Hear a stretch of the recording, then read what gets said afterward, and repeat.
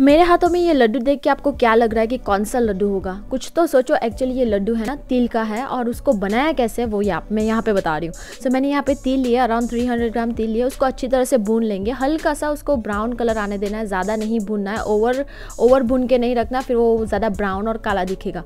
और उसको ऐसे कुछ निकाल के साइड पर उसको ठंडा होने के लिए छोड़ना है। अभी नेक्स्ट क्या करना है हमें मूँगफली लेनी है। मैंने यहाँ पे हंड्रेड ग्राम पीनट्स यूज़ करे उसको भी अच्छी तरह से भून लेंगे और भूनने के बाद उसके छिलके उतार लेंगे। अभी क्या करना है, वो जो हम लोग ने भूनने के लिए रख लाइक वो जो भुना है, दोनों चीज़ें, उसको अच्छी तरह से मिक्सर में दर दरा पीसना है, उसको पाउडर नहीं करना है, हल्का सा मोटा मोटा रहना चाहिए।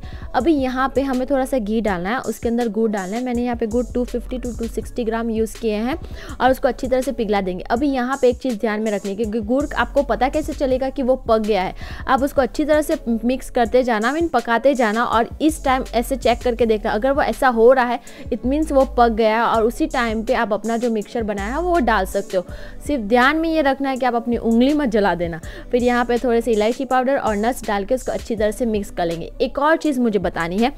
और जब ये मिक्सर गर्म होना मीडियम लाइक मीडियम टेम्परेचर का होना तो हाथों में तेल लेना और लड्डू बनाना स्टार्ट करना। है क्यों? अगर आप पूरा ठंडा कर दोगे तो लड्डू नहीं बनेंगे और क्योंकि ये मिक्सर बहुत जल्दी हार्ड हो जाता है।